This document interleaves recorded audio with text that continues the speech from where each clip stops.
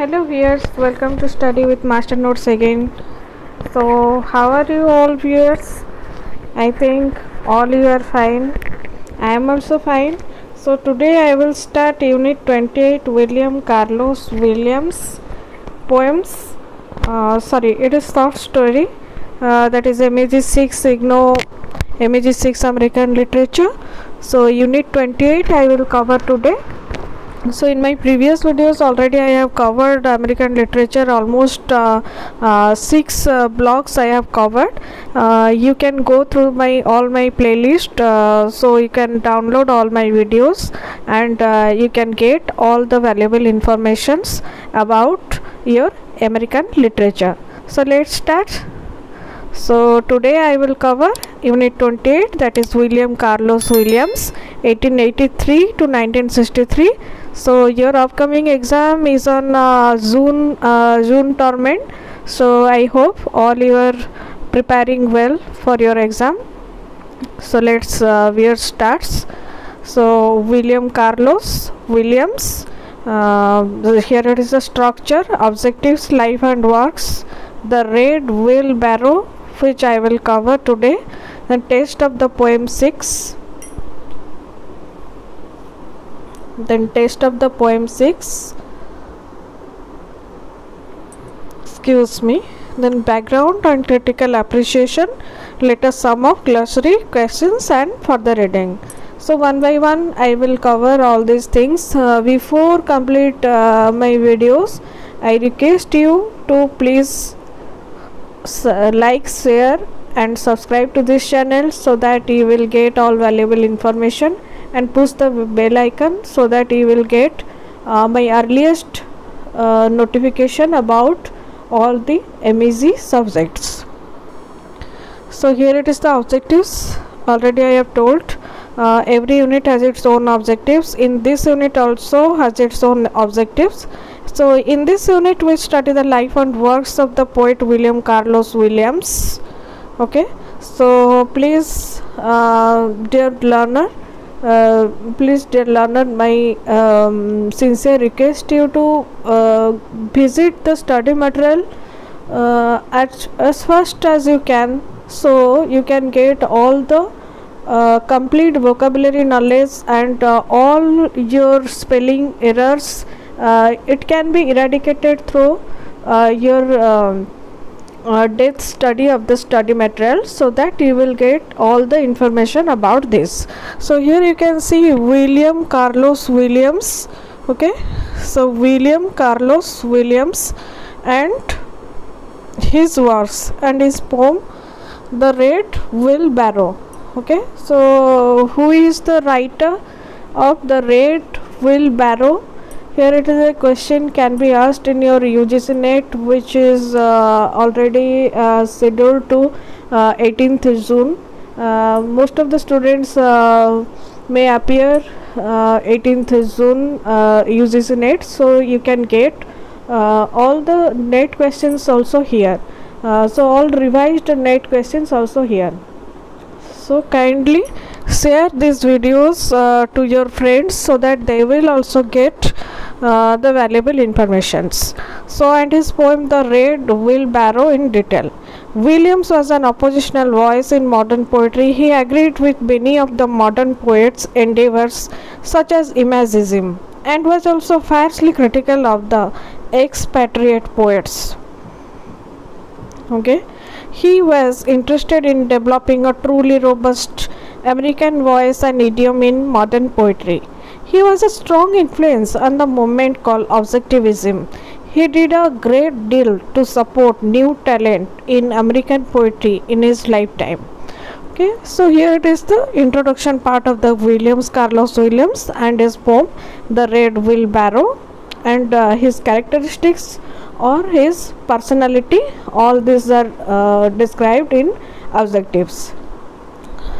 So we will go to the next works next uh, next stanza that is life and works. So how was william carlos williams life and his works? So the, this poet did the most to support new talent in american poetry. Okay.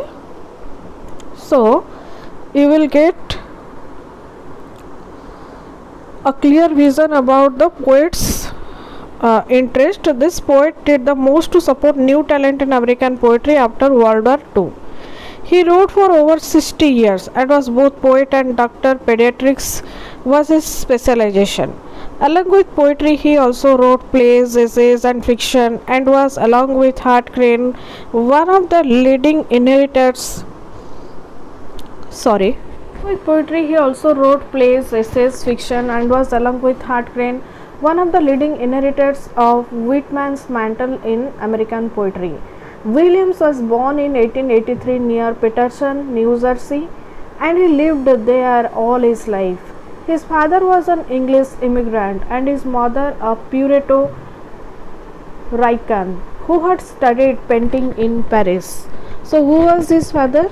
The father was uh, the poet's father was a, uh, was an English immigrant and his mother a Puerto Rican okay who had studied painting in Paris. He was thus exposed to European culture but at the same time had a strong sense of American being his only home. Although he has uh, he was exposed to European culture but at the same time had a strong sense of America being his only home because uh, we uh, we already studied that uh, in America uh, he lived all his life okay he was thus exposed to European culture but at the same time had a strong sense of America being his only home.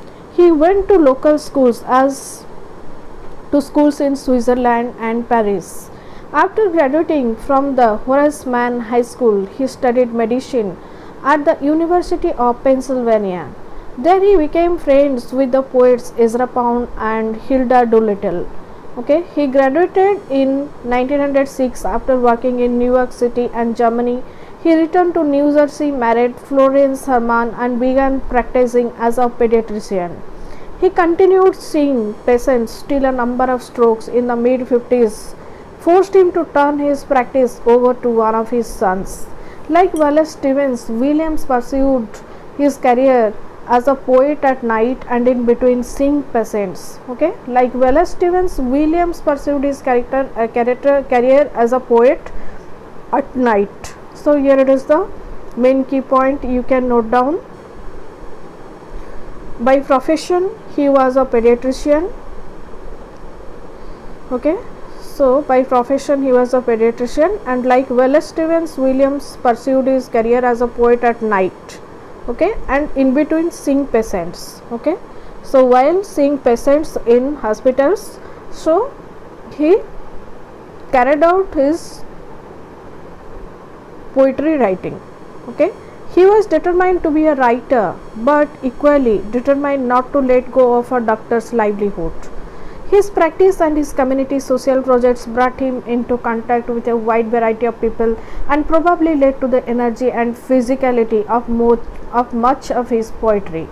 His first book, Poems, was published privately in 1909. The second volume, Tempest, published in 1913 with the help of Ezra Pound, revealed Williams' interaction with the modern mode in poetry and his attempt to create his own voice okay so here it is william carlos williams in the intellectual circles of new york he came to know wallace stevens the poet marianne moore and painters like picabia and duchamp okay? So in the intellectual circles of new york he came to know wallace stevens the poet marianne moore and painters like picabia and duchamp so here it is the picture of william carlos williams you can see. Then, although he disgraced with Pound on matters like the revival of old verse poems, he agreed with him about his principle of imagism. He was also attracted to Whitman's celebration of the merely physical and his strong recommendation for a poetry of feeling and of the poet's role as an upholder of liberty and equality. His essays in the magazine Contact which he edited between 1920 to 1923 with Robert McAlmon, his prose, his prose and poetry in Spring and All, and his essays in the volume in the American Grain. Okay, so here it is the main key point you can note down. Here it is the main key point you can note down. In the american grain 1925 and 1920 to 1923 with robert mcalmon his prose and poetry in spring and all 1923 okay? Then individual events even somewhat eccentric american tradition poetry williams argued should be impelled by the same energies that bring about a revolution. It should run against the, against the establishment. At the same time it should be grounded in reality. Something he felt expatriate poet like t.s eliot were running away from. Symbolism should not be used to distance the reader of poetry from reality. Meaning should be found in actual things, actual objects, and not vague abstractions. The Red Wheelbarrow is an excellent example of Williams' concerns about poetry in this sense. So, what is imagism and what is symbolism? So, here you, you can say at the same time it should be grounded in reality, something he felt expatriate poets like T.S. Eliot were running away from so, symbolism should not be used to distance the reader of poetry from reality. Meaning should be found in actual things, actual objects, and not vague abstractions. The Red Wheelbarrow is an excellent example of Williams' concerns about poetry in this sense. He was for re establishing the cadences, the rhythms of American diction in poetry. This he felt would make poetry more down to earth. So, poetry should be more down to earth here it is the main key point you can note down according to william carlos williams poetry should be more down to earth he also thought the very lack of stability of the american language would make it particularly open to innovation and fruitful change Williams effectively uses fragmentation in syntax to draw attention to the particular and different ordering that the poet's imagination gives to the world of objects in order to turn, into, turn it into poetry. Poetry is not just an imitation but mutation. So what do you mean, how do you mean by mutation? Mutation means some variation. Okay. So mutation means some variation. Mutation means variation or new thing formation that is called mutation. The influence of painting can be seen in his volume Sour Grapes 1921 as well as the earlier Spring and All. This is something else he has in common with Pound and Stevens. Dadaist, uh, Dadaist, Expressionist, Cubist, Precisionist, Williams was exposed to all of these modern schools of European painting through art shows in New York City. He borrowed from the Cubist their fragmentation of objects, from the Precisionist their combination of geometry and objective realism. In the 1930s, Williams' poems became one of the models for the objectivism movement. His collected poems 1921 to 1931 was published by the Objectivist Press in 1934. At this time, Williams was also writing a lot of fiction the great American novel appeared in 1923, A Voyage to Pagany in 1928, and two collections of such stories, The Age of the Knife and Life Along the Passaic, Passaic River, appeared in 1932 and 1938, respectively. The first two novels are mostly autobiographical and deal with the life of an artist. The short stories talk about the bleak, comic, and heroic lives of American immigrants. Later novels like White Mule 1937 and its sequel In the Money 1940 talk of an immigrant's move from rags to riches in an America dominated by business. Despite a series of heart attacks which began in 1948 uh, and which made writing increasingly difficult for him, Williams completed his epic Paterson. The first book was appeared, which appeared in 1946, and subsequent books in 1948, 1949, 1951, and 1958. This epic, the epic is an answer to the Greeks and Romans and an epic about modern metropolis. Book 4 concludes with the hero's return to New Jersey, much like Odysseus' return to Ithaca in Homer's Odyssey. So, William's honesty, his innovation and directness and clarity of his style influenced later poets like Allen Ginsberg, Dennis Levertov, and Robert Creeley.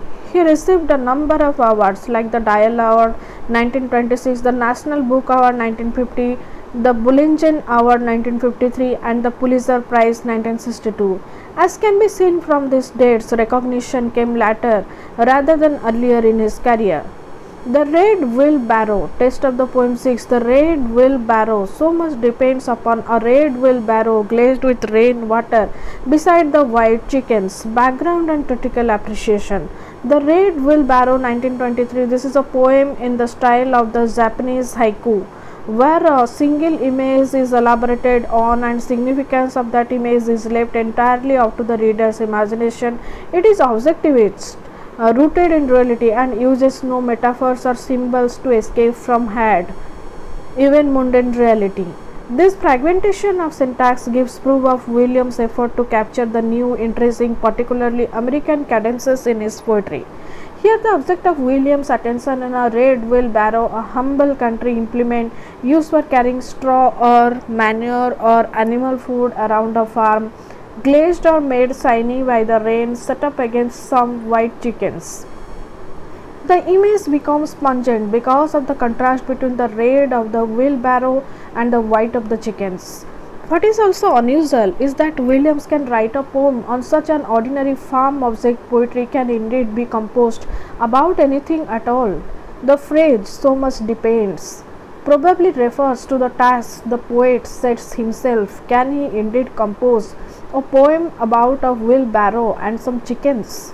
A poem, a poem that people will not laugh at, a poem worth the name. The fact that this poem continues to be anthologized 70 odd years after it has it was composed answers all those questions in the affirmative. So here it is let us sum up. So while William Carlos Williams believed in the other modern poets credos like Pound's imagism, he had problems with what he called the expatriate poets, flight from reality through symbolism. He wanted poems to be sensed as real objects, not to blind the reader to reality. He influenced the objectivist movement. He was also a strong influence in the creation of a robust American tradition in poetry. Even though some may have seen his efforts in this direction as somewhat quixotic, somewhat quixotic, direction as somewhat quixotic. In this endeavor, he saw Walt Whitman as a powerful influence. The Red Wheelbarrow is a characteristically Williams poem. It elevates a humble object, sees it for what it is, does not obfuscate it into a symbol. Okay, does not obfuscate it into a symbol and writes about it in a plain style that is nevertheless very graphic. So here it is glossary imagism a literary movement lost in early 20th century in revolt against romanticism. It promoted free verse and precise imagery. What is symbolism? A movement in France in the late 19th century that later spread to England and America, wherein artists, artists expressed ideas and emotion indirectly through symbols. Mutation. The act or process of being altered or changed. Then Dadaism a Western European artistic and literary movement 1916 to 23 that's the discovery of authentic reality through the evolution of traditional cultural and aesthetic forms by a technique of comic derision in which irrationality, chance and intuition were the guiding principles. Then Precisionism, a modern school of European painting combining geometry and objective realism. Objectivism, a mode of writing verse that recognizes the poem apart from its meaning to be an object to be dealt with as such. It pays particular attention to the structure of the poem and its construction. Then here it is the questions. What is objectivism? Analyze the red wheelbarrow and say whether or not you think it is an objectivist poem. In what sense did William Carlos Williams agree as a poet with his contemporaries like Pound and Eliot and in what ways did he differ then further reading then it is already covered. So in, the, in my next class i will go unit 29 ezra pound so for today's class this much. William carlos williams. So please friends like share and subscribe this channel and push the bell icon so that you will get earliest notification. So thank you. Thank you viewers